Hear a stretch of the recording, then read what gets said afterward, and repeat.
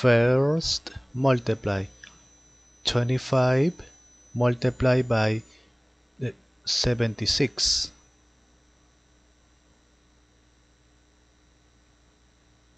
equal okay always two digit. One two point. After the point eliminate zeros from the last finish